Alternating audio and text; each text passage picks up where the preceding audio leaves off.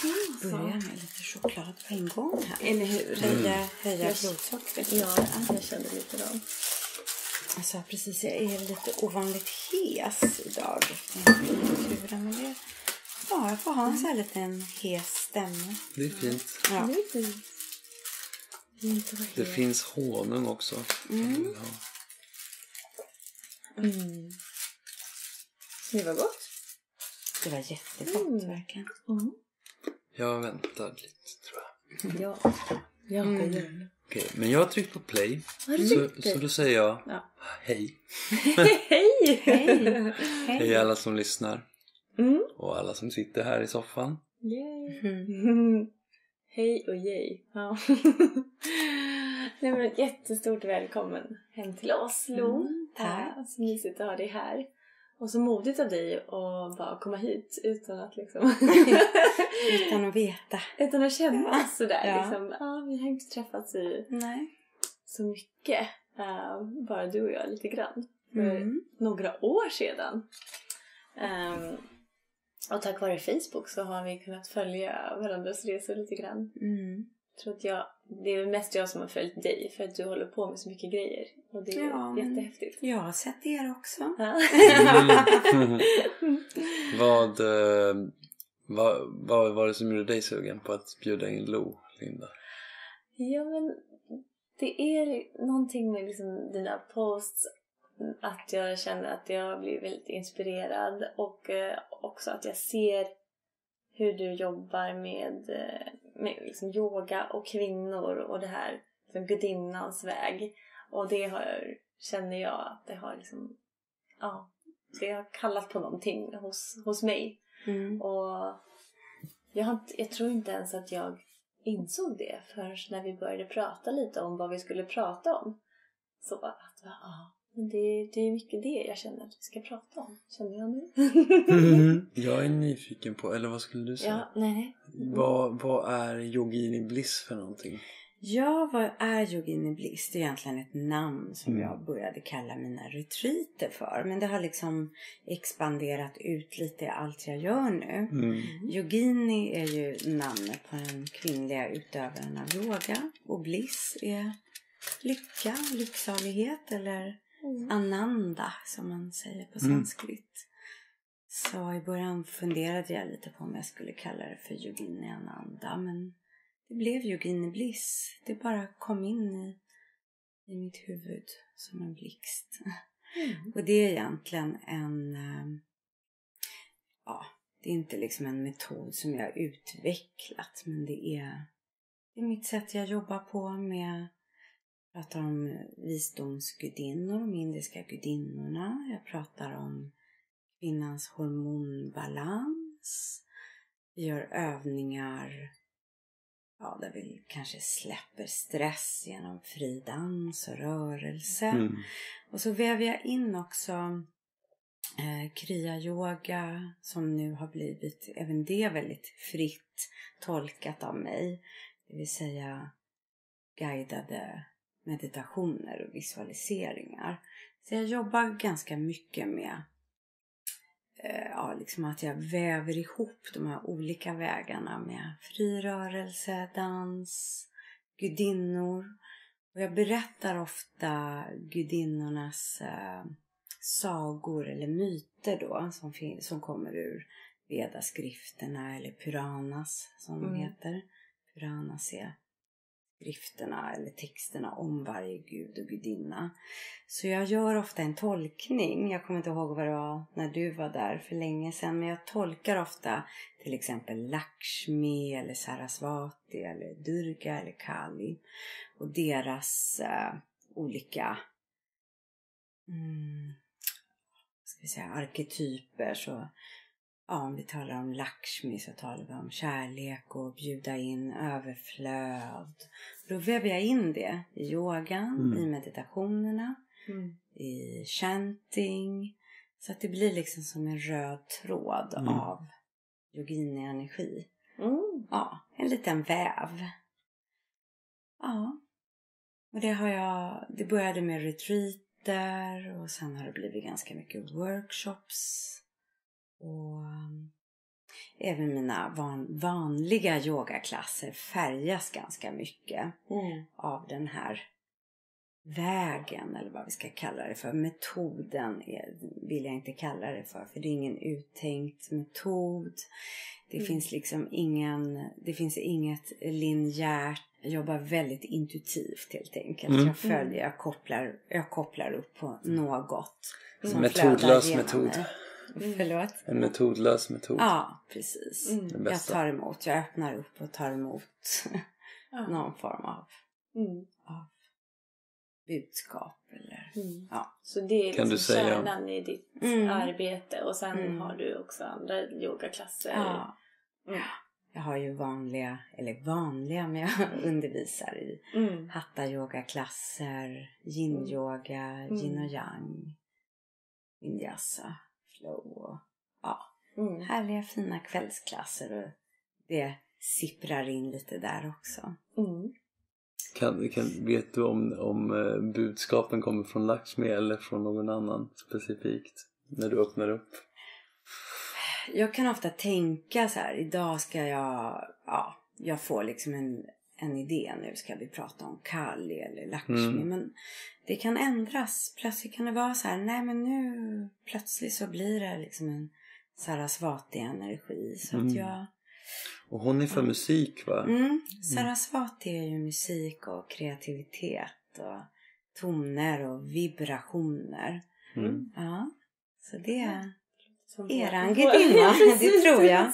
När man kommer in i ert hem här, det här är verkligen Sarasvati. Mm. Lite Lakshmi också tycker jag. Mm. Ja, Men hur kom du in på det här? ja hur kom jag in på det här? Ja.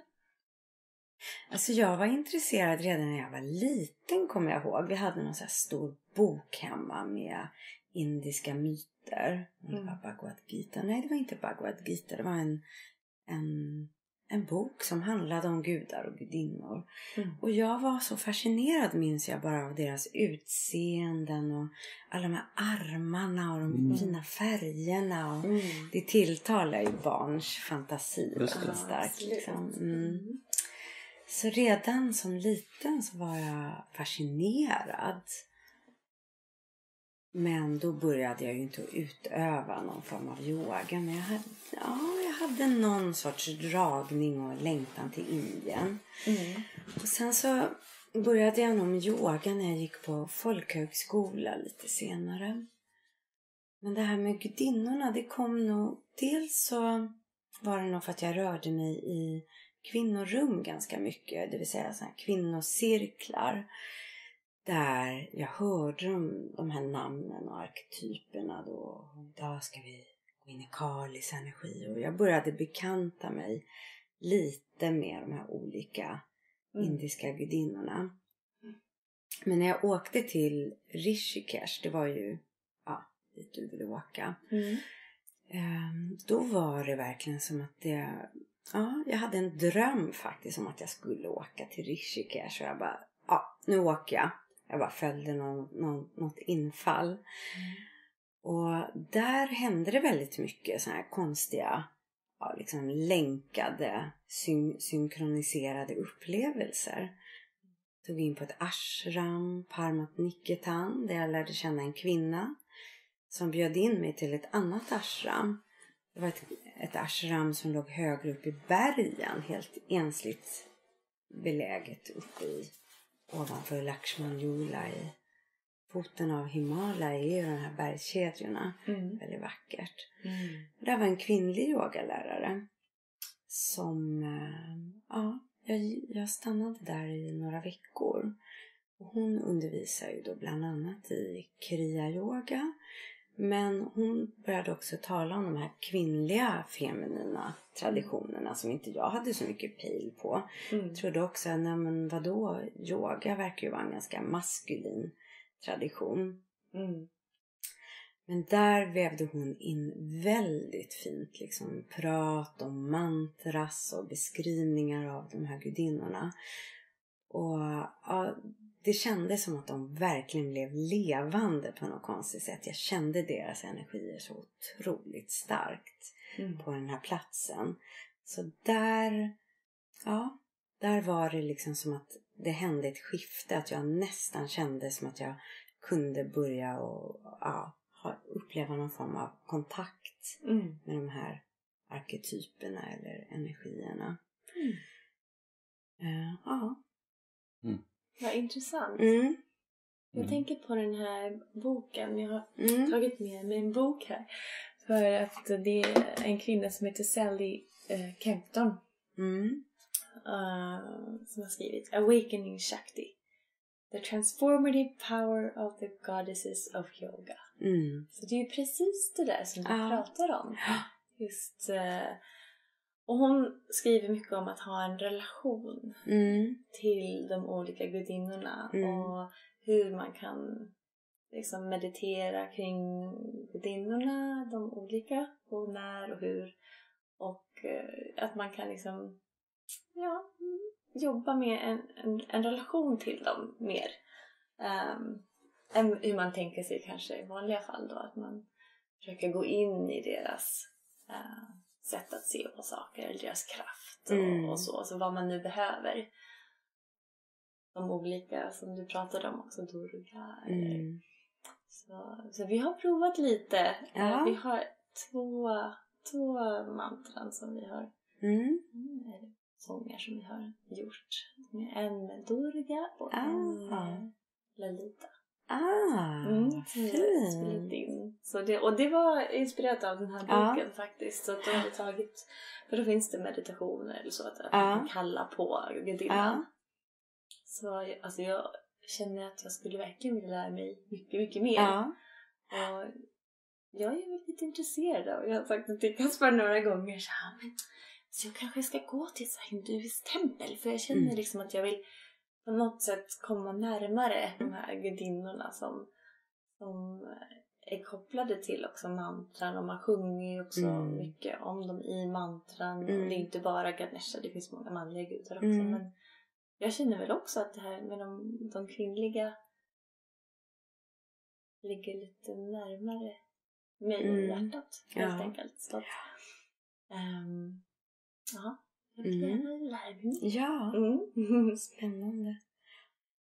Jag vill också understryka eller berätta att nu har jag faktiskt tagit in ganska många av de manliga gudarna också i Yogini Bliss. Så Mm. de får också vara med. De får också vara med, vad bra. så, det är, så det är något för män Shiva. också. Ja, förlåt vad Det är något för män också. Ja, absolut. De får också vara med i ja, Yogini Blix. absolut. Ja. Ja. Mm. Det är Mm. ju härligt. Ja, så, det så nu är det, är det, de- delar du på det då så att det blir liksom mansgrupper och kvinnogrupper eller kan man bara köra tillsammans? Nej, jag brukar köra tillsammans. Eller ibland så har jag workshops som jag kanske har tema Shiva Shakti eller ja, att jag jobbar mera med, Mm. med de energierna ihop. Mm. Jag har inte hittills haft en ren mansgrupp men jag har blandat. Mm. Så jag hade faktiskt en Yogini Bliss förra sommaren. Mm. Uh, Go Deeper Retreat och den var öppen för män. Och det kom Mm. i varje fall tre män Mm. och typ tio kvinnor eller någonting. Men det var väldigt fint och det blev en annan energi Mm. lite grann också. Mm. Och sen handlar det också om att de här arketyperna bor ju inom oss själva. Mm. Och vi har ju inte bara feminin eller yin-energi eller Nej, liksom en shakti-energi utan vi har ju shiva-energi inom oss. Mm. Precis som män har shakti inom sig. Mm. Så att, ehm, ja. Så Mm. för mig är det liksom en helhet. Och Mm. ja, att det inte handlar om egentligen. För ibland kan det misstolkas lite som att det är en kurs i att lära sig att bli feminin. Liksom Ah. tjejig och snygg och Okej. liksom på det Mm. sättet. Mm. Mm. Eller gå tillbaka till någon gammal könsnormativ väg. Det, det har jag liksom hört. Mhm. Jaha, men hur ser du på jämlikhet och bla bla bla. Liksom. Okej, Att det handlar om- ja. Ja, det hade jag nog inte ens tänkt på. Nej, Ja. nej inte jag heller förrän folk Okej. ifrågasatte. Ja, men, ja. ja. Nej men att jag gärna vill ta in helheten liksom Mm. i, i det jag ja, gör. men så bra att understryka. Ja. Mm. Hur passar det in med jämlikhet då? Jag tycker det passar väldigt bra in för om vi talar om de här gudinnorna så är ju de otroligt... Alltså Shakti står ju för styrka Mm. och kraft och rörelse. Så det här som vi kanske i väst nu på de senaste århundraden har tolkat som kvinnligt. Mm. Det tillhör ju egentligen inte särskilt mycket av de här Shakti-arketyperna. De är ju otroligt liksom Mm. levande. Durga, Kali, liksom krigargudinnor. Och Mm. Lalita som liksom bara är supersensuell men liksom bara tar för sig och liksom hon är buren av tre gudar på en tron och Sarasvati som liksom är kreativiteten själv. Nej, för mig eh, jag tycker verkligen att det bara kan ge kvinnor Mm. och män ja, en sann jämlikhet Mm. liksom. Ja, Jag tycker att det... Jag håller helt med. Jag tycker att det är lite idag som att man har, man har associerat kvinnlighet med något negativt och svagt. Mm. Sen om man Ja. säger att någon är kvinnlig eller ska bejaka kvinnlighet så blir det så här. Ja, tycker du att hon ska vara svag? Mm. För, för att vi är så mansdominerade. Ja. Att bara, Tycker du hon ska vara underlägsen? Ja. Eh, Mm. Nej, det var det, inte det det är inte det som är kvinnlighet. Det Nej. är våran eh, förvridna bild Ja. av Absolut. hur vi är vana Ja. att se kvinnor. Ja. Mm. Så när man kliver in i den här kvinnligheten då handlar det liksom om att kliva in i ja, kraft. Men det behöver inte vara kraft. Det kan vara djup stillhet och djup integritet. integritet. Men Mm. ja, det här som vi förknippar med det negativa. Mm. Men det är ju samma sak maskulin. Ordet maskulin har ju också blivit ett negativt ord liksom. Mm. Macho liksom. Ja, Ja. Det, det låter inte heller bra nu. Mm. Så att det... Men är det inte Ja. problemet är mycket att det är så ensidigt? Alltså just det här att man säger att ja men Mm. maskulint då är det macho och det är bara på det här sättet. Så man Mm. visar bara en sida av skalan Ja. så att säga. Det blir så få färger. Ja. Paletten blir så liten. Ja, det blir otroligt litet. Det är väldigt befriande för män tänker jag också som kommer om män är med på Yogini Bliss när man talar om Shiva som djup stillhet Mm. och djupt mottagande. Att det, att det verkligen är Shivas Mm. närvaro. Liksom, att verkligen få vara stilla, att hålla. Och jag tror att det kan vara en otroligt skön be- befriande insikt om man liksom försöker vara en macho kille. Liksom, att jag kan vara man eller jag kan vara kvinna. Och jag kan få vara stilla eller jag kan få vara i rörelse. Men jag känner bara bort från de här västerländska lite ja, begränsande Mm. tankarna kring manligt och kvinnligt. Och Mm. öppna upp för något större liksom. Mm. Mm. Det behövs. Mm. Det tycker jag för övrigt är otroligt vackert just med, med hinduismen. Att det är ju inte en religion med många gudar egentligen. Fast det är många Inte? gudar. Nej, alltså det Men är... för att det är samma. Ja, Allt- precis. Allt är samma. Allting är samma. Så det, Finns det, bara en. Men jag tror Mm. att man har kallat den för, vad heter det? Sanatana Dharma heter den på sanskrit. Det Mm. betyder sanningarnas vägar. Det finns inte en sanning. Det finns bara mil- det finns miljoner av sanningar. Mm. Och det är ju Brahman som är världssjälen. Mm. Ja. Och allt, allt inom Brahman är bara olika varianter av samma, Mm. samma själ. Mm. Så vi är alla, vi är alla ett. Mm. Enligt, enligt det världs, enligt det sättet att Precis. se på saker. Mm. Jag läste någonstans när jag studerade tantra att, eh, att hinduismen är en av de mest misstolkade um, ja, men feltolkade religioner. Just för att man, man hakar upp sig på det här med Mm. att det finns många olika gudar och Mm. att de säger att de, de dyrkar olika gudar. Ehm, men egentligen är det då en religion som bara har en, en gud. Alltså det är monoteistisk tror jag man kallar det. Mm. Just för att de Mm. representerar bara olika aspekter Ja. utav oss. Ja. Som man kan liksom, Ja. för att belysa uh, universums olika, olika ja. aspekter. Hänger de ihop någonting med olika, i- jag tänker i vissa system och sånt så finns det ju kopplingar mellan olika arketyper och stjärntecken eller så här. Ja, just det. eh, Ja. cykler på, det, på Vintergatan, tänker jag. Ja, det vet jag faktiskt Nej. inte. Det var en bra fråga och det, kan jag, det tror jag säkert. Och de har ju en egen Mm. ja, astrologi så att jag, det Just finns det. säkert kopplingar men det, Mm. det är gamla, gamla grejer. Och antagligen mycket, mycket äldre också än vad vi tänker och säger. Man säger liksom bara Mm. 5000 år Mm. tillbaka men det kan ju lika gärna vara 10 000 år eller kanske 20 000 Mm. år Mm. tillbaka som man började med de här Mm. Tankegångarna. Mm. Ja, det är häftigt att tänka på. Ja, Hur verkligen. länge det har funnits. Ja. Och just de traditionerna också som har vuxit ur det. Liksom Mm. Därifrån kommer ju yoga och Mm. ehm, ayurveda och alla de här kunskapsvägarna Ja. egentligen. Som, som vi också har börjat få till oss nu. Ja, som vi har tagit samhälle. till oss. Jag vill bara återanknyta till det här som du sa att man har misstolkat hinduismen. Och det var Mm. ju också när engelsmännen Mm. kom till Indien.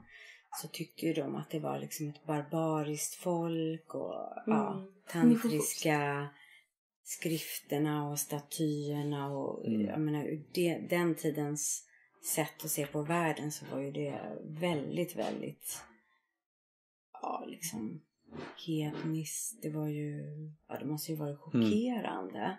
Och de kallade ju Devadasis, de här tempelgudinnorna eller tempelkvinnorna som tjänade Devas. Mhm. De kallade ju dem Vad är Devas och Devis? Dev, devas är gudarna och Devis är gudinnorna. Okej. Devadasi eller Devidasi, de, ja, de levde i tempel och liksom Mm. tjänade gudarna och gudinnorna och utövade dans och yoga. Mm. Och var väldigt vackert utsmyckade och gjorde de här fina danserna och sångerna. Men engelsmännen kallade dem för naughty girls. Som att det var någon sorts nöjesflickor eller så fruktansvärd Mm. feltolkning. Det sa mer om dem. Om dem än- Verkligen. Mm. Men sen så fick ju också många sådana här tempel stänga igen. De ansåg det var ju oanständigt Mm. att utöva de här danserna och yogan under vissa eror. Och eh, män fick ju klä ut sig till kvinnor och göra danser för att kvinnor inte fick göra det liksom in public. Mm. Men så hade ju många engelsmän kvinnor som sina egna dansöser eller yoginis.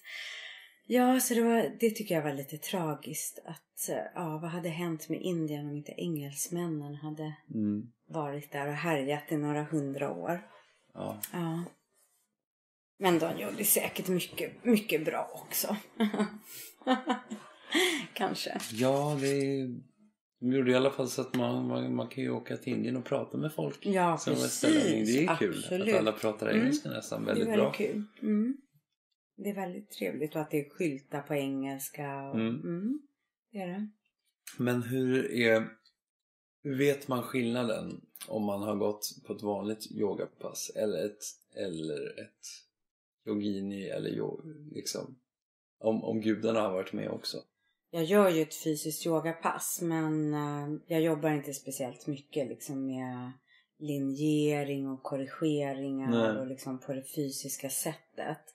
Utan jag, jag jobbar mer liksom med ett, ett flöde, ett ganska mjukt flöde och så har jag ganska mycket andra, eller jag lägger mycket större fokus på andra delar av Mm. asana, asana-passet. Jag jobbar mycket, mycket mera med liksom bandas och Mm. andning och verkligen komma i kontakt med kroppen från insidan. Mer än att jobba linjärt med utsidan av kroppen. Mm. Eh, och sen så jag kan ha olika liksom, sekvenser så plötsligt så kan jag gå in i ett friare, friare Mm. rörelseschema där man verkligen får flöda liksom och verkligen röra sig och kanske släppa asanas och dansa loss och sen gå tillbaka in i asanas. Mm. Ehm, ja, så det är skillnad mot ett vanligt, vanligt yogapass. Och framförallt så är det nog hur, vad jag pratar om under Mm. passet. Ehm, mm. Men för det, det jag hör när du berättar är att när du pratar om gudinnor till exempel så är det inte strikt mytologiskt utan det är mer deras närvaro i våra liv. Ja, det kan vara så Som- att jag, att jag berättar en Mm, myt. Till mm. exempel myten om när Parvati och Shiva möttes. Mm, Men sen så beskriver jag också liksom min tolkning. mm, Deras möte handlar ju om att hon strävar efter att möta Shiva. Har du hört den historien? Men du får gärna berätta. Ja. Så hon föds ju, hon, hon är ju Shakti själv. Och hon föds som en liten flicka uppe i bergen, så hon är bergets dotter. Och hon har en sån otroligt stark längtan bara efter Shiva i hela sitt väsen. Så hon bara sjunger mantrat Om Namah Shivaya, Om Namah Shivaya och bara längtar och längtar och längtar. Och sen får hon börja besöka Shiva i sin grotta. Och Shiva är ju liksom, ja han har gått tillbaka ifrån att vara Shiva the lover som han var med sin tidigare fru Sati. Sati har dött och han är djupt, djupt liksom, ja, han har vänt sig undan världen och sitter i djup meditation. Mm, Men Parvatis mission är att väcka honom igen, att väcka hans, hans aktivitet liksom, i Mm. sin egen energi. Och det här återkommer mycket i de här historierna att många av de här gudarna, devas eller maskulina energin behöver det feminina flödet för ja, att kunna visst. verka i världen. Annars är de väldigt stilla och mediterande. Mm, Men hon vill liksom Ja, hon vill fylla honom med sin energi helt enkelt. Så hon går dit och hon mediterar. Och hon kämpar liksom för att bli en lika stor yogi som han själv är. mm, Men han öppnar aldrig ögonen. Han ser aldrig henne. Och till sist så gör hon då en kupp. Att Kama, kärleksguden, ska besöka grottan Mm. och skjuta honom med kärlekens pil. Jaha, de har också så. Ja, det är precis som en liten eros. En Mm. liten indisk eros. Och hon smyckar sig, hon gör sig vacker. Hon tänker att nu när han ser mig då kommer han förstå liksom vem jag Mm. är. Och mycket riktigt då så öppnar han ju ögonen såklart. Han får ju han får en pil i sin kropp. Och först när han ser henne så blir han helt bländad och liksom överförtjust och Mm. känner att det här är min Shakti. Men sen så känner han sig manipulerad. Och det har han ju blivit. Han öppnade inte ögonen själv, han fick en pil i sig. Och då stänger han ögonen och utplånar, utplånar Kama, kärleken. Kärleken kommer tillbaka. Mycket manligt. Ja. Och då, det som händer där, det är det som är det intressanta. Då lämnar hon Shiva och grottan. Då inser hon att det jag sökt, det finns inte i den här grottan. Jag kommer aldrig, aldrig att kunna möta Shiva i den här grottan. Så hon går ut i djunglerna, Ah. ut i världen och där börjar hon sin egen riktiga yogapraktik. Där hon sitter ensam och mediterar i iskalla floder. Hon står i yogapositioner. Och hon bara låter håret växa och slutar att sminka sig. Och sarisen åker av hennes kropp och hon blir liksom som en, en, eh, en vis kvinna i skogen. Wow. Och hon hittar liksom Shiva, det hon har sökt finns inne i henne själv. Mm. Djupa, djupa Hon närvaron. förkroppsligar det. Ja, hon förkroppsligar Shiva Ja. i sig själv. Men då blir det en twist igen i historien för då vaknar Shiva i grottan och saknar ju Mm. Shakti, saknar Parvati. Så då han går efter henne och känner att jag behöver henne så han smyger på henne och så ser han att hon är ju precis som jag själv. Han ser att de är så lika liksom båda två. Och ja, det är så han inser att de två är ett. Så då, då möts de och kan återvända tillbaka till, till grottan. Det är väldigt många av de här gamla yogaskrifterna.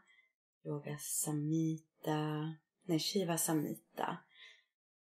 Um, Vairava Sutras. Det finns en massa sådana här texter, sutras, som handlar om samtal mellan Shiva och Parvati. Mm. Mm. Så man säger ju lite att deras samtal är lite grunden till yogans utövande. Mm. Mm. Så det är liksom Shiva och Parvati som created yoga. Skapade yogan. Jättevackert. Ja, det är en himla- vacker historia. Det är så himla härligt att sitta och lyssna på historier. Mm. Det är inte varje dag tyvärr. Nej, så det hör ju när jag börjar berätta. Det är det här jag gör. Det är svårt att beskriva hur mina klasser är. Men Mm. jag tar ju in såna här historier. Mm. Och det händer någonting. Plötsligt så blir man liksom helt... Man blir en del av sagan. Mm. Vi har alltid haft sagor. Mm, Historiskt. mm. Ja, som man har kunnat identifiera sig med. Mm. Och det känns som att det finns så himla mycket. Ju mer man börjar utöva själv känner jag liksom Mm. att, att saker som jag alltid har tänkt att ja, men jag, jag fattar poängen. Så här, det är bra att vara snäll. Det är Mm. inte så himla mycket mer med den där gamla historien. Mm. Så känner jag bara plötsligt bara shit, det här, jag, nu känner jag att jag fick värsta insikten och nu inser jag att den finns i alla de här sagorna. Jag har bara inte sett den. Ja. Men det du pratar om nu, det, det finns så himla mycket. Det är liksom polaritet och olika mellan, Mm. mellan det feminina och det maskulina. Men det är också vet inte, det absoluta stora medvetandet och, och det världsliga och det finns och det, och det liksom att vara autentisk, så här, vad är riktig attraktion? Är det liksom när man spelar spel med varandra Mm. eller är det liksom Mm. sen blir man sugen på den, det man inte har? Och, äh, det, finns så himla många nivåer. Ja. Så det är så det är jättekul att analysera och bara återkomma till samma Ja. flera gånger i sitt liv. Och Ja. För att det- det är nytt ändå. Mm. Man får en ny lins Mm. av sin erfarenhet. Mm. Det är väldigt intressant. Tack. Mm. Mm. Ja, Mm. jag, jag tänker det här med sagor. Att det kan hjälpa oss otroligt mycket att eh, förstå vår egen situation och förstå oss själva. Mm. Eh, och att vi, ja men det är synd att vi har tappat det lite grann. När man är liten så lyssnar man ju på sagor Ja. hela tiden och det är Ja. ju så naturligt. Och sen, sen liksom, sen är man för gammal Ja. för sagor. Fast det är inte sant. Nej, och det finns sån magi i sagorna. Mm. Liksom. Det öppnar upp en annan dimension. Mm. Men vi har väl sagor på ett sätt. Vi har ju... Ja, det är ju filmer och böcker och Mm. sånger och... Och alla de här berättelserna som konstnärer skapar, det är ju en sorts moderna sagor. Mm. Men de kanske inte är alltid riktigt så magiska som de här gamla sagorna. Nej, Nej. precis. Nej, och det är väl inte alltid heller som de har så mycket tanke bakom Nej. som de här sagorna Nej. till exempel. Där är det ju, Ja. det finns ju otroligt djupa Mm. eh, meningar bakom allting. Det är precis som, jag tänker på med sanskrit också, som Mm. Hur det är uppbyggt och att de här sagorna har skrivits på sanskrit. Mm. Så jag tror att det vi uppfattar Mm. nu, ja, jag vet inte om du kan sanskrit, jag kan inte det. Eh, men vi studerade lite grann Mm, på min yogautbildning mm. så jag kan ju lite grann. Men, men om man verkligen Ja. förstår det så är ju det också ett språk som är så otroligt mångfacetterat. Ungefär som att det liksom också kan hålla Mm. hela den här tunga kunskapen. Ja. De Så säger väl att det är varje ord kommer liksom, det är essensen av det som, som ordet beskriver. Mm. Och har den korrekta våglängden med det ordet. Ja. inte, Rätta vibrationer. Ja. ja. Mm. det är, jag kommer inte ihåg exakt hur det var formulerat. Men det var ganska intressant när jag Mm. läste om det. Att det inte, man bara, man inte bara tagit något som passar bra att säga. Utan Nej. det är någon som har, Ja. Ja, Det är ett otroligt spännande språk och jag kan ju inte heller sanskrit men jag kan ganska många ord och Mm. mantras och liksom Mm. använder orden. Mm. Jag tycker om att säga asanas på sanskrit för att jag, det känns också som att det blir rätt vibration i kroppen när man säger dem på sanskrit. Mm. Vrikshasana, Mm. trädets position Mm. till exempel. Det, det händer någonting. Vrikshasana, mm, jangasana. Mm. Det är någonting väldigt, väldigt vackert. Ja, det, det blir, kroppen tar liksom formen av det ordet. Mm. Och det läste jag också i någon beskrivning av sanskrit att det är ett ord eller ett språk som inte är gjort för att studeras och läsas intellektuellt. Utan det är gjort för att uttalas, sjungas, Wow. mässas och röra sig till. Så det är så Mm. man Yes. utövade de här gamla verserna och sutras. De var Mm. liksom inte gjorda, man satt inte och läste dem och pluggade med glasögon på kammaren utan man dansade dem och sjöng dem. Så Mm. det är ju det ni gör. Mm. Ja. Ja, precis. Och jag har Mm. tänkt på det här med... Vi har pratat lite om mantran och om man ska jobba mer med svenska Mm. mantran till Mm. exempel. Eller varför man vill få in ett språk som man förstår. Mm. Som vi brukar blanda in en del engelska Mm. i våra mantran. Och att, man, eller att vi lägger en personlig touch i, kan man säga. Och lite av vår tol- tolkning kan man säga. I mantrat. Det som vi känner att det här mantrat förmedlar. Eh, men essensen kommer ju också mycket utav att det är på sanskrit. Och att bara det att det är på ett annat språk som inte går in i det intellektuella. För nu när vi pratar så är det ju mycket att man är så starkt språket är så starkt Mm. kopplat Mm. till det intellektuella, analytiska. Och sen har man här ett, ett annat språk som egentligen inte talas.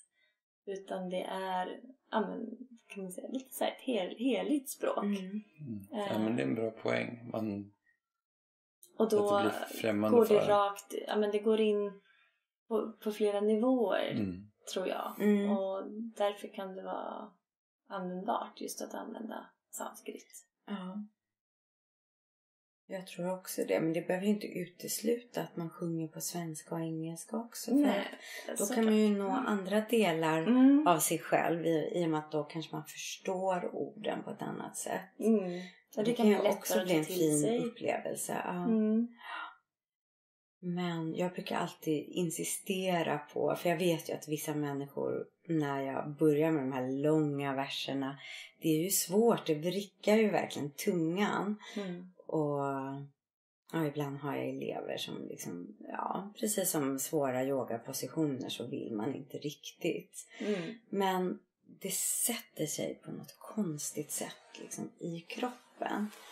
Jag kommer ihåg när jag lärde mig Gayatri mantra. Då hade jag gått en yogalärarutbildning och vi hade en, en man som skulle lära oss mantras. Och jag hade så svårt att lära mig. Mm. Vi tittade på orden och vi skulle liksom lära oss en metod. Och det gick inte in i mitt huvud. Och sen så var jag på kurs hos en eh, kvinna. Shameli som också undervisar, har, har kvinnogrupper. Ja, ah. Och hon viskade in mantrat, Gayatri mantra i mitt öra. Och det fastnade för alltid där inne. Wow.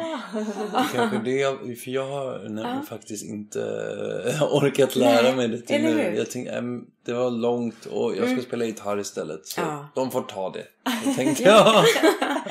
Du får viska in orden i hans öra. Mm. ja.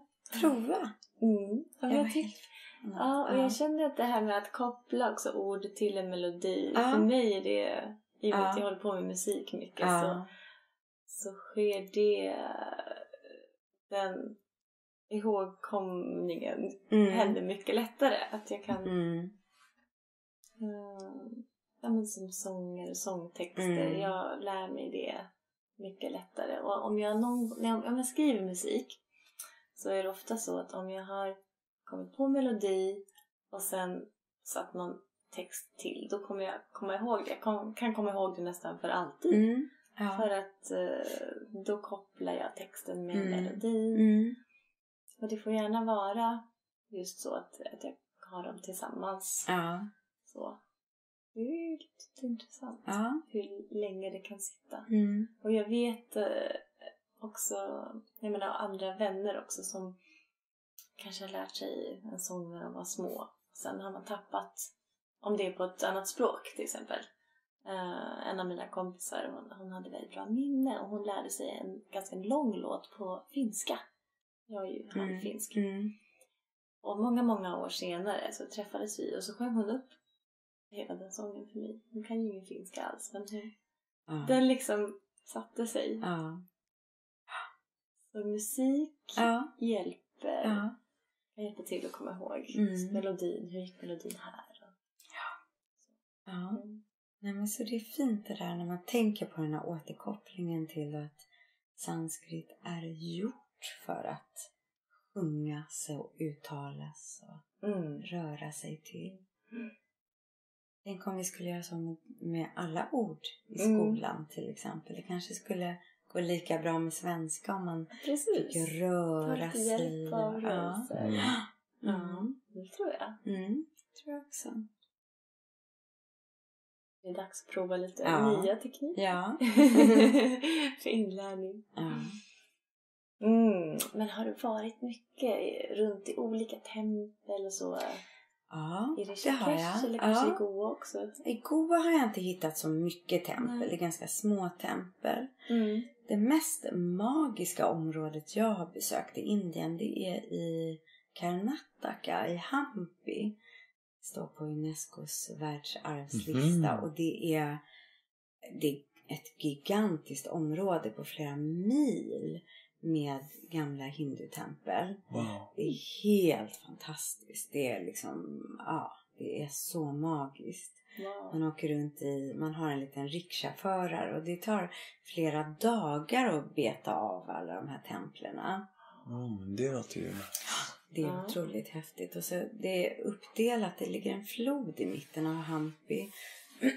och på ena sidan floden så är det levande tempel eller aktiva tempel. Mm. Så där fanns ett fantastiskt Hanuman-tempel som ligger på toppen av ett berg. Det fanns både Hanuman, det är någon apa. apguden, Ja, precis.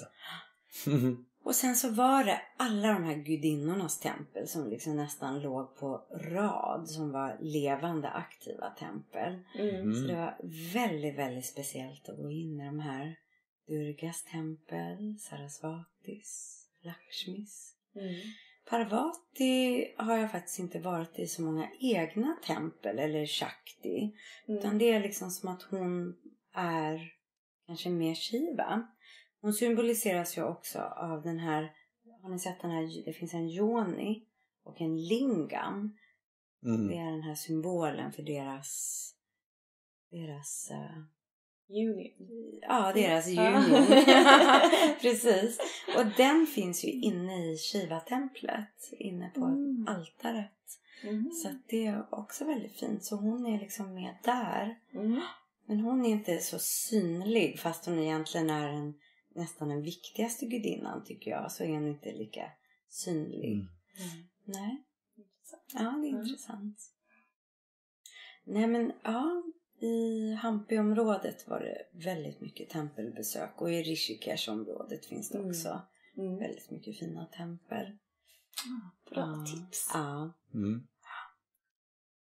Får se om det blir någon Indienresa Ja. för oss. ja, Någon tycker jag ni ska. Överskådlig framtid. Ja, Med småbarn är det lite, lite mer ja. komplicerat. Det är många som, som åker till Goa med småbarn. Mm. Ja, Jo, men det är det går. Mm. Ja, precis. Är man sådär på ett ställe Ja, Så är det lite lättare. Ja, än om man ska ja. flaxa runt. Mm. Jag tyckte Goa var fantastiskt. Ja, Jag gillade det. Det var verkligen så, här, ja. så lugnt och fint. Nu var jag i Palolem. Mm. Jättevackert. Mm. Jag tänkte på det här med gudinnorna. Har du någon favorit? Det kanske du sa redan. Men... Egentligen, alltså jag tänker ju ofta att jag har en favorit. Men sen byter jag ju. Mm. Ja. För de är ju alla aspekter av mig och av dig. Mm. Av dig. Så um, jag tycker ju väldigt mycket om Parvati. Mm. Hon är ju liksom urgudinnan för mig. Som verkligen handlar om att liksom, ja, gå sin egen väg. Mm. Och ändå hålla fast liksom vid, vid sin kärlek och vid sitt mål. Men man kanske möter det om man släpper taget. Om man verkligen gör sin egen inre resa. Mm. Så hon, ja, hon påminner mig så himla mycket om att liksom vara autentisk och följa, följa sig själv. Mm. Och sen så blir ju de liksom, ja, verkligen det här kärleksfulla paret. Men de fortsätter ju att leva ganska fritt ifrån varandra också. Mm. Eh, Så Parvati är en favorit och jag tycker väldigt mycket om Lalita. Hon är inte riktigt lika omtalad här i väst i varje fall om man talar Mm. om gudinnor. Men hon, hon står ju också för den här, både en sensuell energi men hon är också ungdomlig och väldigt busig och rolig och drar liksom undan marken under fötterna på Shiva till exempel. Skakar om kanske intellektet då eller egot. Så henne tycker jag också väldigt mycket om. Eh, Durga och Kali som verkligen har de här liksom, dunderkrafterna, Mm. Ja, Durga är också lite läskig. Ja. Kan vara. Har Mm, inte kan hon, vara lite hon har lite vapen? Hon har åtta armar, åtta armar och vapen i händerna och Mm. bågar och pilar och diskar. Hon har liksom Ja. hela, hela kittet med sig. Mm. Men hon är också ganska lekfull och playful. Det är Mm. bara när hon blir riktigt, riktigt hotad som hon blir i ett krig mot en demon. Då kommer ju Kali ur hennes bröst. Mhm. Och Jag tror Kali den är här... är... Vad sa du? Jag tror just den historien är med i den här Ja, boken. ja. Spännande. Känner du igen Så det där? Kali liksom, och det står ju för när man är riktigt, riktigt trängd och hotad. Då kommer det här absolut mörkaste, vildaste, mest liksom. För Kali är ju liksom vanvettig eller liksom mörkblå med stripigt svart hår och skallar Mm. runt halsen och Ja. knivar i händerna. Men det är också liksom den här känslan av att liksom den här urkraften Mm. som man ibland behöver. Mm. Så jag tycker om de två också. Även om man inte orkar alltid hålla och vara i de energierna. Nej. Så kan, man, kan det vara skönt att känna att de kan få finnas där och kliva fram ibland. Mm. Sarasvati. Nej men jag tycker om allihopa som Mm. ni hör. Sarasvati, kreativitetens gudinna. Mm. Och så tycker jag väldigt mycket om Lakshmi. Att verkligen hon är ju kärlek och skönhet och överflöd. Mm. Ehm, och också bejaka det. Att Mm. man också, även om vi nu talar om att släppa maskerna och in, inte spela spel. Men hon står ju väldigt mycket liksom för skönhet och ta hand om sin kropp och liksom vårda själens tempel. Mm. Så hon är också en väldigt härlig, juicy, varm gudinna Mm. som jag tycker om. Det finns ingen gudinna som jag inte tycker om, tror jag. Nej. Nej. Känner du att, för du sa att du jobbar väldigt intuitivt och det Mm. hör man också. Mm. Känner du att du alltid har gjort det och att du alltid har varit autentisk och gått din egen väg som Parvati eller har du? Ja, nej, inte när jag började. När jag började som yogalärare så var jag ju vettskrämd, kommer jag ihåg. Mm. Inför att bara leda klasser. Jag var livrädd. Jag tänkte, vad har jag gett mig in på? Ska jag... jag hade glömt det liksom. Jag ville bara hålla på med yoga. Och så gick jag en utbildning och vi skulle ha så här prova på-klasser när elever skulle Mm. komma och droppa in Ja. för oss. Mm. Jag var jätterädd. Kommer jag ihåg. Jag hade papper med mig, tidtagarur och klockor och långa planerade texter.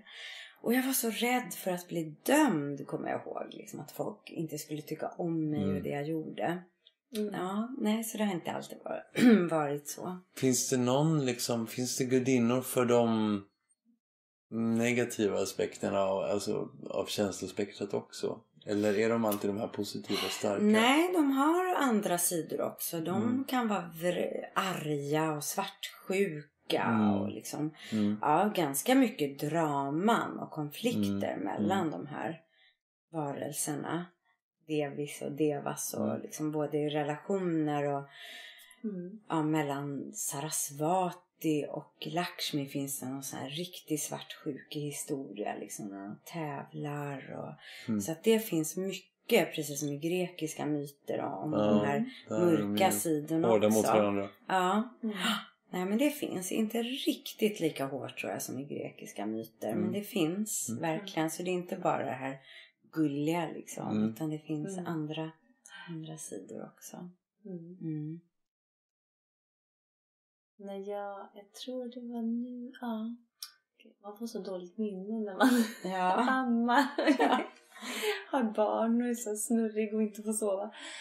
Men det var nog nu under den senaste graviditeten som jag började läsa den här boken. Visst var det så länge har jag inte haft den. Nej.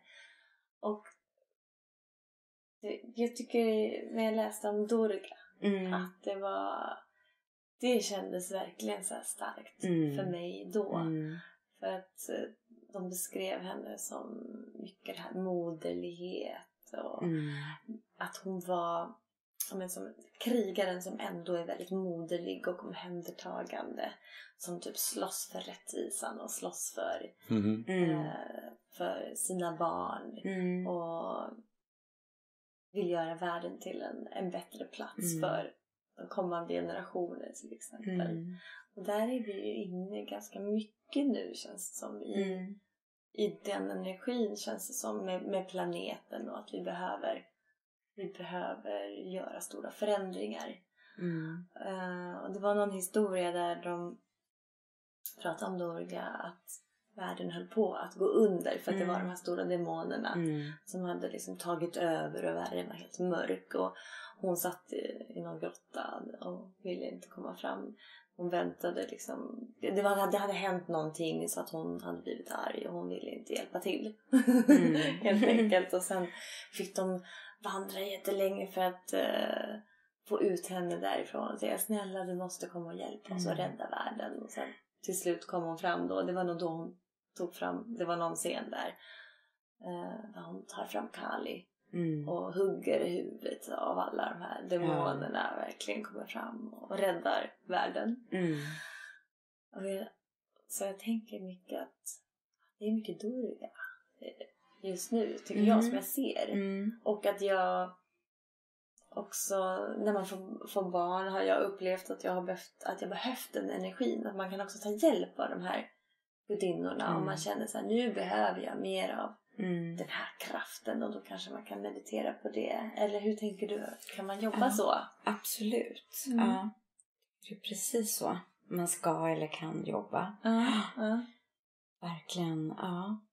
Och um, Durga, det känns verkligen som att Durga är på jorden just nu. Det håller jag med dig om. Mm. Och att det måste liksom vara en kärleksfull transformation eller ett kärleksfullt krig. Mm. För det är ju det hon, hon gör. Ja. Hon hugger ju egentligen bara huvudet av false illusions and ego, liksom Mm. egot och falska Precis. il- illusioner och raserar alla de här konstiga strukturerna som Mm. har byggts upp av tankar liksom och inte Mm. ur hjärtat.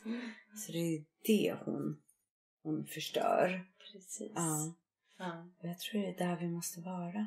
Mm. Jag tror att det är där alla måste vara om, om den här planeten ska gå framåt. Att vi ska kriga ur hjärtat liksom. Och, Mm. mm. Mm. Ja, och jag tänker också att vi behöver släppa fram eh, båda sidorna. Mm. Det Kärleken och kriget. Mm, nej, det jag tänker på är just de här gudinnorna Ja. egentligen. För det har ju varit mycket gud, Mm, gudarna. ja. Fokus på, ja men i och med att vi har levt patriarkala samhällen Mm. i stort sett under så otroligt lång tid. Ja. Och eh, den kvinnliga kraften har inte haft möjlighet Nej. att ta plats och nu vi behöver Mm. skapa en, en balans i, i världen.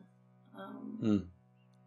Det är intressant i den här historien om Durga. För det, så som jag har läst den mm. så är det också att Shiva, Vishnu och Brahma eh, skaparen, bevararen och förstöraren. De här tre gudarna har ett möte. För att hela världen då håller på att gå under och det är krig och det är mörker. Och inget rår på det här. De har försökt, alltså de här tre maskulina gudarna. Mm. Och de säger att det här går inte, vi kan inte, vi måste ta in en kvinna, en, en eh, Devi här. Och då, tar, då kallar de på duga. Så att det, Ah, på något sätt så, så. är det liksom som Mm. en beskrivning. Ja, det kanske är, det finns många Ja. snarlika historier. Så att det finns, ja. Nej, men så att det är lite som en, en eh, profetia om tiden, tiden som, det som händer nu på jorden. Mm. Jag tror att det är inte bara en kvinna utan ja, liksom den här feminina kraften Mm. som behöver rädda, Mm. som behöver träda in. Som Durga verkligen. Mm. Om Dom Durge Jai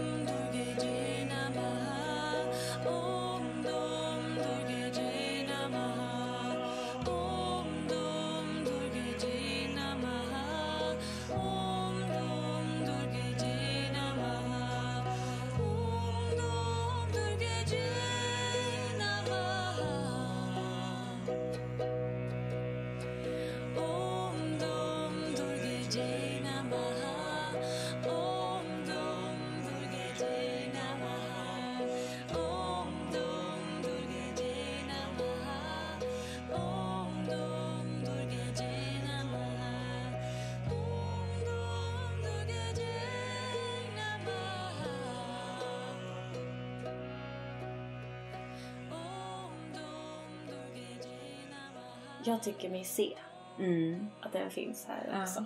Som du sa.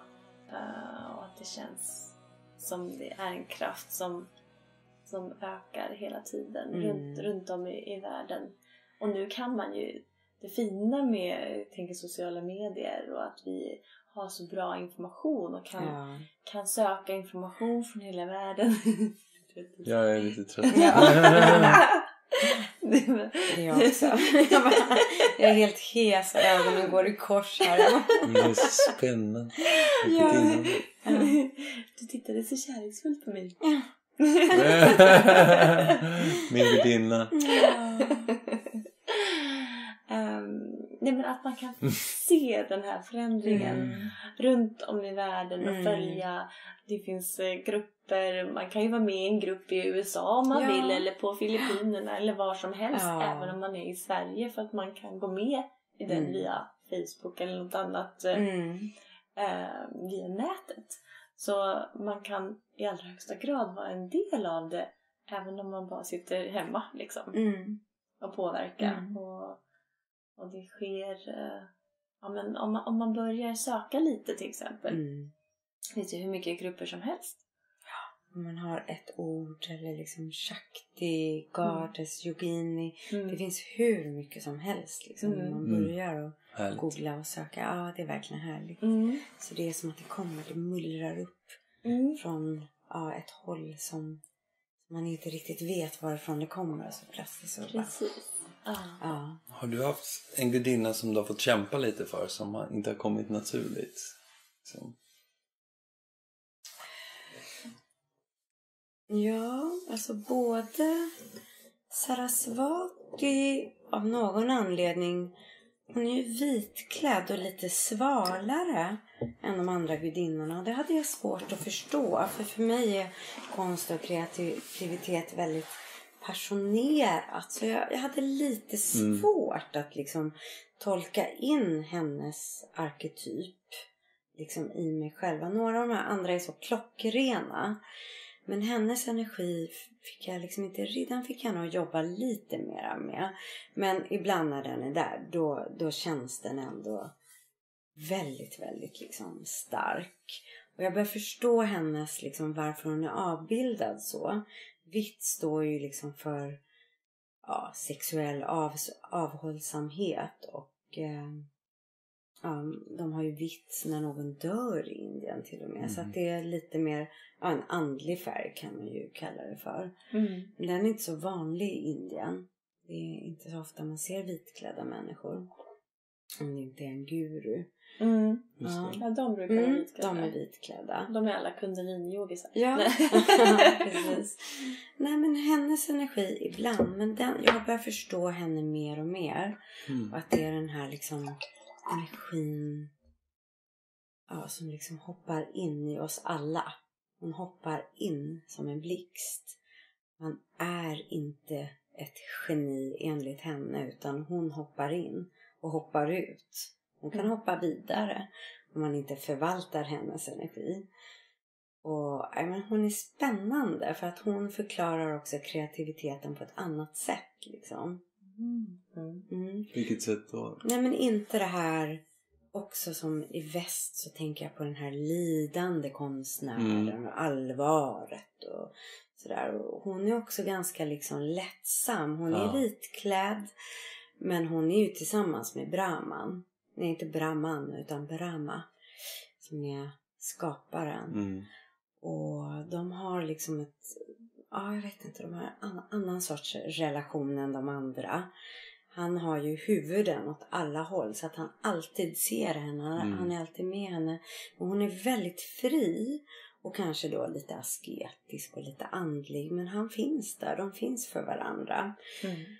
Och vad var det jag skulle säga? Nej men hon är väldigt lättsam. Hon sitter och spelar på sin sitar eller Mm. luta eller vad det är. Och hon, är, hon sätter små båtar av kreativitet i vattnet för folk att plocka upp. Och hon leker fram kreativiteten. Mm. Mm. Och nu känns det väldigt, väldigt självklart att kreativiteten är så. Men det tog ett tag för mig.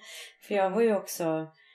Jag har gått konstskola och liksom, ja det är min grund, min första utbildning. Och det var liksom också en ganska tuff och hård och allvarlig väg liksom som konstnär. Lite lidande och... Mm. Det, det Ja. där har jag också tänkt Ja. på för att jag har också många Ja. bekanta, Ja. mina föräldrars vänner och så, som Ja. är lite lidande konstnärer. Jag vet. Och plötsligt Mm. det här och att Och det var nog något som jag hade som ideal. Ja, jag hade också Kanske det som fortfarande. ideal. Ja, jag hade det som ideal väldigt, väldigt länge. Och hennes lättsamhet var så här, inte riktigt seriös. Nej. Mm. Det här kan jag inte riktigt förstå. Men nu förstår jag henne helt och fullt. Och just det där när jag känner som att någonting verkligen hoppar in och hoppar ut. Alltså det är en vild och lekfull energi som jag tror man ska leka med. Liksom, Mm. Som säkert ni gör när ni sitter och jammar eller när man målar en tavla eller skriver. Att verkligen släppa det där som virvlar runt. Liksom. Mm. Vi har nästan Så- alltid, jag, jag tror när vi spelar, det kommer väldigt ofta att jag får en så här Mm. allvarlig bara, Ja, det ska bli rätt. ja, ja. Och sen bara, ja. Om jag lyssnar på inspelningen efteråt Ja. så är det alltid så här bara, men allt det där var skit. Ja. Sen så fort jag bara börjar latcha runt Ja. istället så bara, men Ja. Nu är det Det kul att lyssna alltid- på det. ja, det är alltid då det händer. Nu liksom. händer det grejer. Ja. När man släpper det där allvarliga. Så nu förstår jag henne nästan bäst av alla. Ja. Men det, det Mm. tog ett litet tag att liksom Mm. få in hennes energi. Det är intressant. Ja, eftersom intressant. det också är så tajt kopplat till det du gjorde Ja, jag innan. vet. Ja. När du pluggade Mm. konst, var det måleri då eller var det...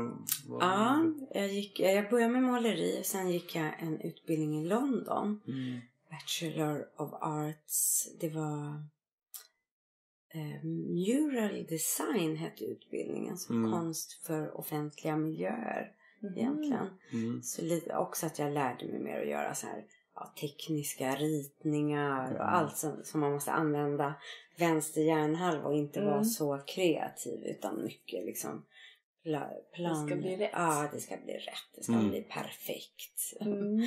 Sådär. Så Mm. att det, då insåg jag också att det, det där perfekta kan verkligen döda konsten. Liksom. Så att det, jag var ganska trött på konsten efter Mm. sex år på konsthögskola. Och, Du tröttnade Mm. på konsten. ja. Ja.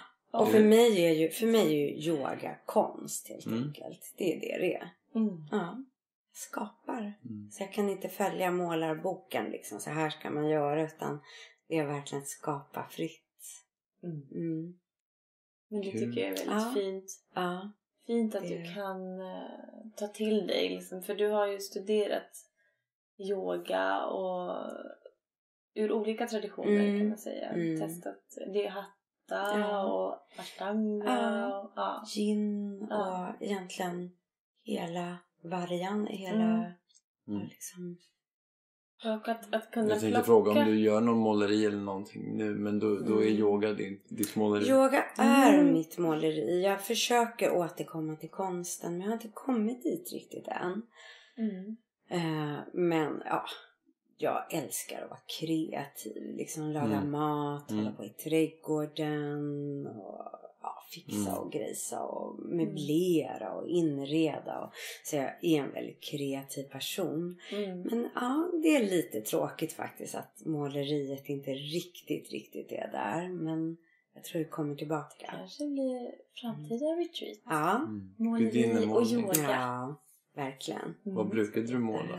Var det någon, någonting liknande? Jag målade faktiskt ganska mycket så här kvinnor, Ja. kvinnor, Ja. gudinnor liksom. Jag har alltid varit så. till det. Ja, Mm. och jag till och med, jag höll liksom inte på med yoga men jag målade ganska mycket så här yoginisar, åttaarmade kvinnor ja. och sådär. Av någon anledning. Det, Ja. När jag kollar tillbaka på saker som jag har Mm. skrivit och gjort så är det Ja. också så här att bara, jag har ju alltid vetat och gjort Ja. det här som jag Ja. trodde att jag Ja. hittade förra året. Ja, och så var men gud det där har jag hållit på med hela livet Mm. ju. Fast det, Förmodligen flera. Ja, precis. Ja, och ibland så blir jag lite trött på mig själv för att jag läser gamla dagböcker, Mm. anteckningar som jag har skrivit och så, så läser jag någonting så här, ja nu har jag insett det här, det här, det här och Mm. sen så läser man kanske samma sak efter två år. Ja. Nu har jag insett det igen. Ja. Men vänta nu, jag har insett det två gånger och sen glömde jag bort Ja. det och sen insåg jag Och det så igen. Ja. Det tar lite jag ha med tid mina ibland. mål också när jag tittar tillbaka. Jag, bara, men jag hade ju liksom typ samma mål när jag tittar 20 år tillbaka i tiden. Eller? Mm. Ja, ja Ja. men precis. Det, är- allting tar ju tid. Mm. Mm. Men det är intressant att man kanske har varit på samma väg Mm. eh, under lång tid. Och det är Ja. klart, man blir ju hela tiden klokare och Ja. klokare. Men många insikter kommer tillbaka. Man Mm. kommer tillbaka och man blir mer och mer grundad kanske. Ja, jag tror i det. de insikterna. Ja, du kanske ändå måste gå tillbaka samma väg.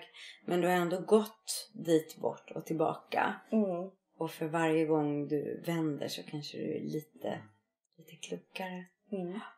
Lite visare. Jo, Mm. men precis. Ja, ibland blir man förvånad över hur kloka saker man har Mm. Ja. tänkt. Och så, Ja. Ja, så glömde jag bort det där. Mm. ja. Mm. Så det är bra att skriva ner. Man får njuta ja, av det det. är det faktiskt. Ja. Den lilla stunden. Ja. Den lilla stunden. ja. Man är lite klok. ja. Ja. Eller vi har verkligen liksom värdesätter alla, alla medel man kan ta hjälp av Mm. för att kunna komma ihåg liksom, när Mm. man är inspirerad och när man Ja. känner att man får den här liksom, lite divine Mm. guidance. Mm. Ehm, som att det kommer en melodi till Mm. en. Man blir inspiration och vill göra en sång eller en Ja. dans eller en måleri eller, eller kommer på någonting annat. Jag vet inte vad, Ja. vad man nu än håller på med. Att man kommer in i något flow. Men man dokumenterar det. Mm. För sen nästa sekund så bara är det borta. Ja. Men det där är Sarasvati. Mm. För att det liksom fånga henne. Ja, det var ju precis Ja. så som du sa. Ja. Ja. För det är liksom bara ta emot det. För annars hoppar hon, hon virvlar vidare liksom. Jaha. Då hoppar den idén in i någon annan. Mm. Har ni läst Big Magic? En ny bok. Nej. Vad heter hon? Hon som skrev den här Eat, Love and Pray. Jaha. Och hon har beskrivit det här med kreativitet. Och det är precis de här Sarasvatis Mm. väg. Mm. Just det här med att tankarna, eller inte tankarna men de genialiska insikterna, de tillhör inte dig utan de tillhör någon form av divine guidance som bara hoppar in. Hon beskriver inte Sarasvati men hon Mm. säger att du måste ta tillvara på det när det kommer. Mm. För man kan inte lägga i en byrålåda och säga det här tar jag fram. Det kan gå men oftast inte. För det, då hoppar idén vidare. Det är Mm. liksom som en egen energivirvel.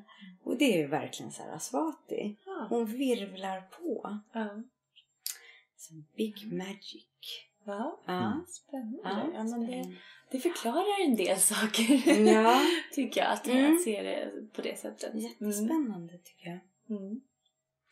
Mm. En av mina elever beskrev att hon satt på stranden Sarasvati-dagen. Hon såg en vit virvel komma på stranden. Hon bara, det där är Sarasvati. Hon var helt övertygad om att det var det. Mm. Who knows? Who Ja. knows? Who knows? Mm. Ja, men jag tror att man kan se livet kan bli mer magiskt om man Mm. vågar tro. Man vågar se det magiska Mm. eh, runt omkring sig och då kan det liksom ge mer av Ja. allting för en själv, det som man vill ha. Ja. Om man vågar manifestera också och vågar Jag tro tror på också det. det. Våga, våga vara kreativ. Våga tro på det här omöjliga liksom. Och, Mm. ja. Just, just do it. Ja. Precis. Just do it.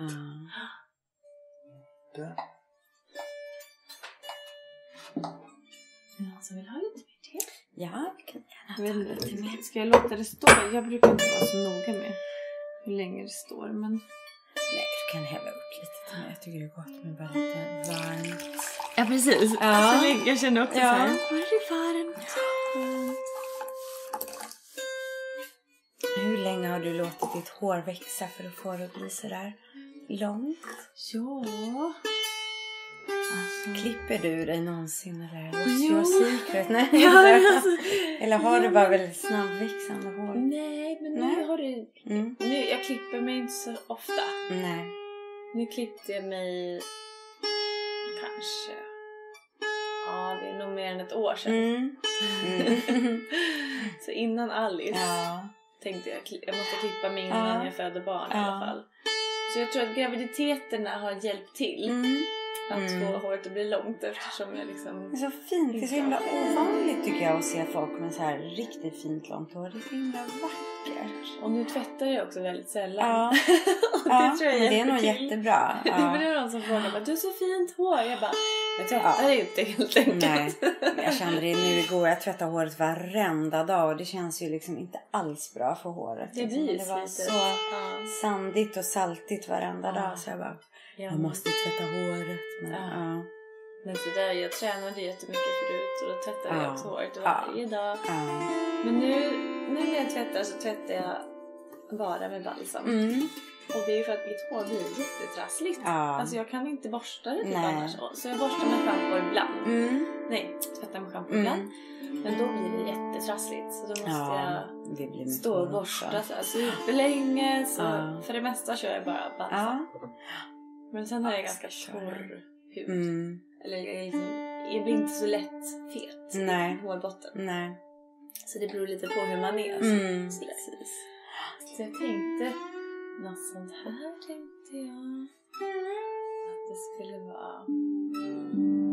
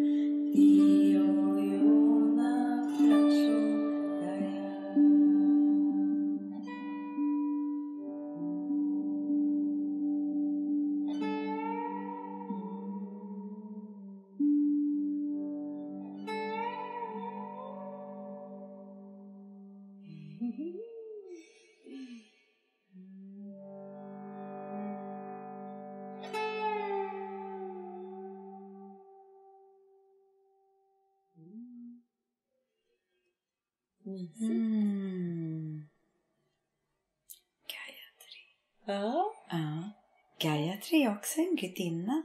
Ja. Ja. För det översätts ju ofta till solguden. Men Gayatri är Ja. Parvati, Sarasvati och Lakshmi med tre ansikten på en samma. Jaha. Ja. Så, spännande. She's very special. Åh, jag får lära sig. Jättekul. Jag tycker det är så kul med de här gudinnorna. Ja. Jag blir jättetaggad nu. Jag ska läsa klart min bok. Ja, måste jag. Sen måste du läsa min bok. Ja, sen ska jag läsa din Ja, bok. det. Det blir perfekt. Jag behöver Ja. en att läsa när Ja, den här är precis. slut. Sen är Ja. nästan slut. Mm. Mm. Ska vi eh, sjunga och spela den andra sången också? Mm. Vilken den andra sången? Satchitananda. Just det, och då ska jag spela Om här man om Satchitananda Parabrahma. Nej, inte den. Mm. Nej. Nej. ehm, Mm. vi, vi har... Vi gjorde en... eh, vi har lagt upp eh, en så här, ett konto på Patreon. Mm. Mm. Ehm, vi tänker att ja, men, eh, någon dag Mm. så skulle det vara så fint att Ja. kunna ägna sig ja, men, mer och så här, Ja. jordro. Ja. Eh, och eh, om vi ska komma dit så behöver vi stöd och hjälp från, Ja. från världen. Liksom. och då gjorde vi i den en version av Satchitananda.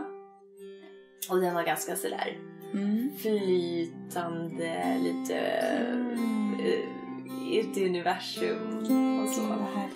Och den, då går den bara Satchitananda och sen så har jag en, alltså det är egentligen en sån här gammal, som en poster fast den är Mm. gjord på en metallbricka som vi har där ute och då står det I love you for all that you are.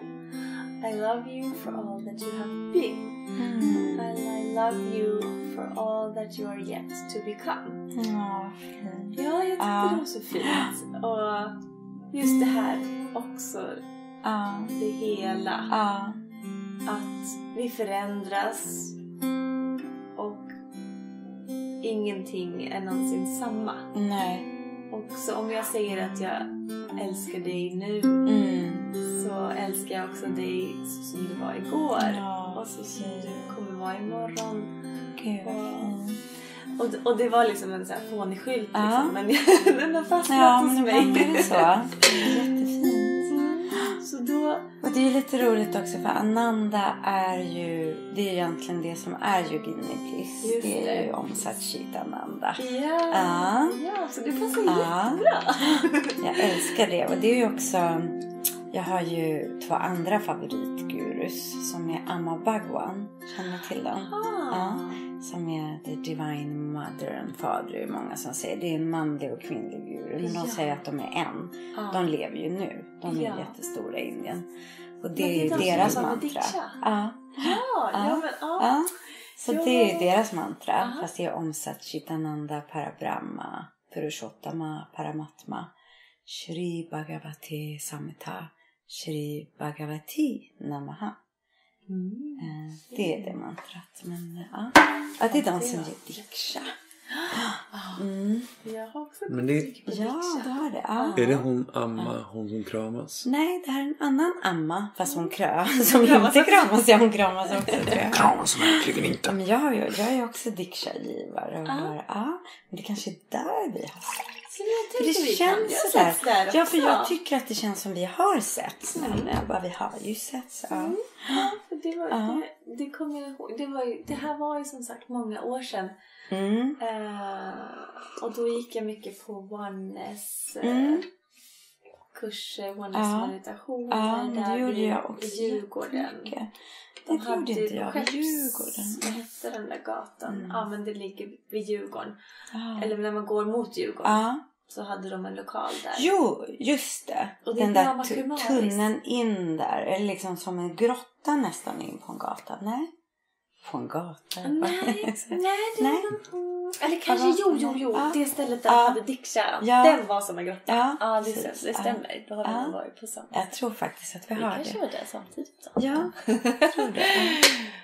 Mm. Mm. Men sen, efter att vi hade spelat in den här videon i alla fall. Så kände jag bara, nej.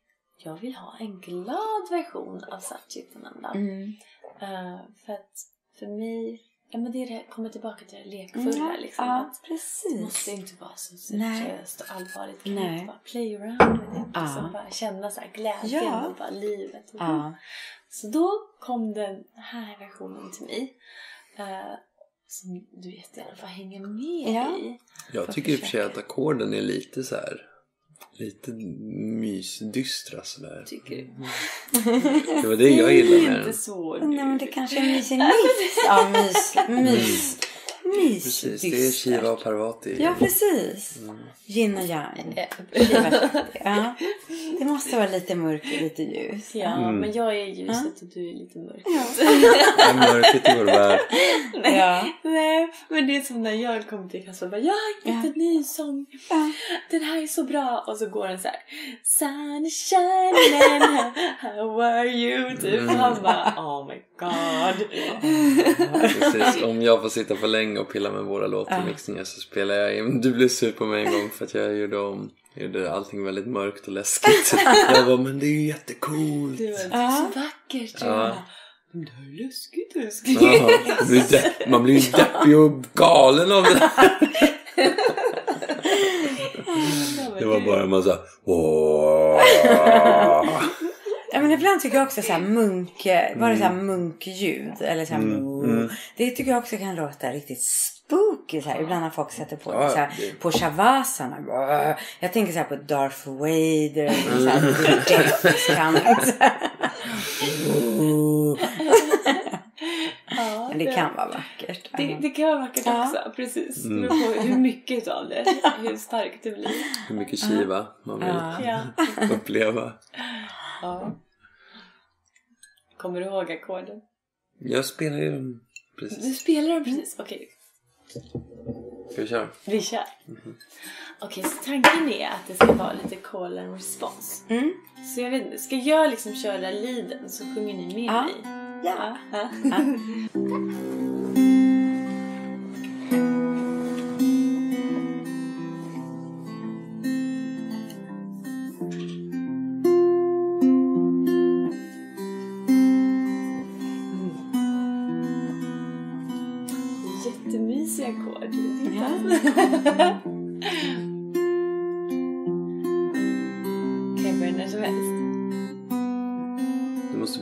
ackord. Ja, det, det har du rätt Till exempel.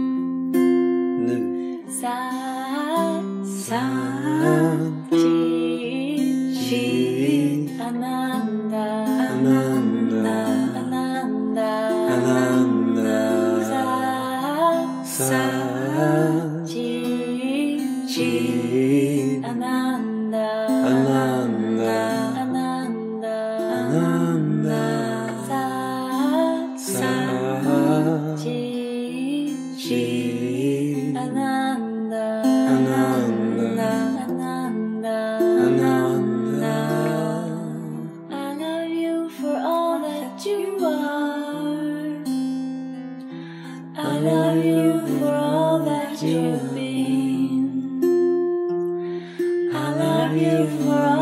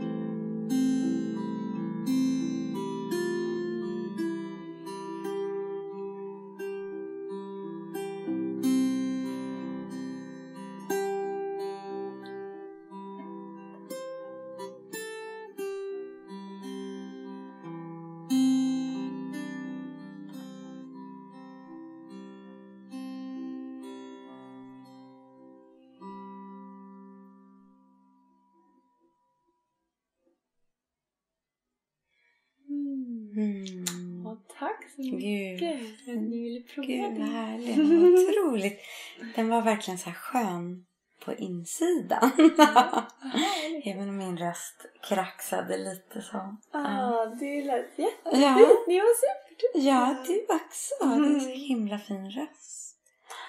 Alltså jag Ja. tycker det är med mantran så vi någon gång när vi gjorde, vad var det, Om Namah Shivaya? Vi känner så nu också. Att Mm. man verkligen känner hur det öppnar Ja. Någonting inom en. Ja. Och ja, men som du säger, att det expanderar liksom Mm. medvetandet. Man kan vara inne i så Mm. jobbiga tankar Mm. eller känna sig spänd och stressad och sen så sjunger man lite mantra och, och bara går in i liksom tacksamhet Mm. och lite, man går in i bliss, man Ja. går in i, i consciousness Mm. och så är det för mig i alla fall. Ja, nej men det Mm. är så. Det Jag, är... känner, jag känner bara att det är något som så här bara, oh, har landat. Ja. Det är nice. Mm. Ja, man borde sjunga lite mantra Ja, verkligen. Ja, men nu känner jag liksom att... Eh, jag tänkte, det, det var inte så att jag mådde dåligt innan men, men det var ändå några grejer som var Ja. där och nu känns det bättre. Ja, det gör det. Liksom, plötsligt ser man bara så här, ja, man är här och Ja. här och nu. Mm. Brukar du sjunga mantra med dina elever? Mm. Vad tycker de om det? Jätte, jag tror nästan alla älskar det när de kommer in i det. Även om det är lite motstånd först. Liksom. Så, nej, men det är ju där blissen är. Det är ju liksom den snabbaste Mm. vägen till bliss. Mm. Det, ja. Men Det kan ju Jag vara ett, ett litet steg till ja, att det kan vara ett våga steg dit. jobba ja. med rösten och våga liksom. Nej men det är också sådär att liksom respektera människor känner jag. Som att om någon, man märker, vissa kan ju också tycka att det är jobbigt det här liksom att det, att det är hinduistisk tradition. Det är ju Mm. ändå liksom en viss religiös koppling. Mm. Jo, Så det är ju, vet jag, folk som, ja, som har kommit på retreater som faktiskt har tyckt att det var riktigt jobbigt. Mm. Men eh, jag försöker få dem att hoppa över det steget i tanken liksom och bara sjunga. Och det, när jag aldrig varit med om någon som har sjungit mantran som har gått därifrån och inte tyckte om det. Jag tror inte att det har hänt. Mm. Däremot så vet jag ju liksom om man har så här klockskålar och gångar och sånt. Det är ju, alltså gång, gång. Det kan ju Mm. vara väldigt jobbigt för vissa människors öron. just det. Mm. det vet jag folk som inte Det alls kan bli tycker för om. starkt. Ja. Ja. Så att det, men annars, nej. Det stämmer liksom kroppen på något sätt att sjunga mantras. Mm. Eller hur? Mm. Det är som att man stämmer sig själv. Ja. Även om jag Det själv var ett bra känner mig... sätt att säga ja, det, även om jag, idag Ja. känner jag bara vad är det som händer med min röst? Mm. Äh, här ska jag komma och sjunga i en podd. Jag brukar aldrig vara så här Mm. helt... Men flygplan är väl det Ja, värsta som det finns Ja, mot stämbanden. Mm. Komma till det här Mm. kalla klimatet och Det påverkar kan- kroppen på massa olika sätt. Mm. Så det är dåligt för eh, miljön men det är ännu värre för stämbanden. Ja, ja. Min röst. Ja. Ja, det finns så många vackra mantras. Ja. Ja, verkligen. Man skulle Mm. vilja sjunga dem alla ja. och bara djupdyka i det. Ja, verkligen. Ja, Ja, underbart. ja. Ja, jag är så glad att du ville komma hit och att du... Jätteroligt. Ja, men och Ni får höra av er om ni kommer till över, så att du- Gotland. Det känns Ja. så skönt och Ja, lugnt. kom till mig på Gotland. Jag älskar kan komma. Gotland så vi får åka dit. Ja, Ja, Nu har vi en bra Ni får anledning. komma och sova över hos mig. Och, ja, ja, ja, vi kommer ja. Vi tackar för ikväll. Vi känner att eh, det har varit fantastiskt mysigt Mm. att bara sitta här och prata om gudinnor och Mm. gudar och eh, sjunga mantra med dig Lo. ja. Och eh, det ska bli jättespännande att se Mm. om vi får en bok att läsa Ja. också snart och få följa, följa dig på din resa. Ja. Och vi kommer skriva också i slutet var man kan hitta dina Ja, hemsida och hitta dina retreats och, Ja. och så. Så att man kan Underbart. vara med på den resan tillsammans med dig. Tack. Tack för att jag fick komma. Det har varit underbart att vara här här vackra miljön. Och, ja, vara här Mm. med er och höra er och följa med er. Mm. Ja, tack. Så mycket. Det på vår sida. Ja, verkligen. Så nu Det säger här vi... fastnade. Ja, precis. Du får ta med. Ja. Så nu säger vi godnatt och Mm. Godnatt. ha det fint där ute i etern. Godnatt. Kom. Godnatt. Du har lyssnat på Jordero-podden. Podden där vi söker inre frid och yttre fred genom yoga, meditation, musik, gemenskap och allt vi kommer över. Tack för att du lyssnar, delar och prenumererar. Vill du veta mer om oss går du in på jordero.com. Vi finns även på Facebook, Youtube, Soundcloud, Instagram och sist men inte minst Patreon. Där du kan stötta vårt arbete och bli en aktiv del av vår tribe. Var din egen sol och låt världen drunkna i ljus. Vi ses.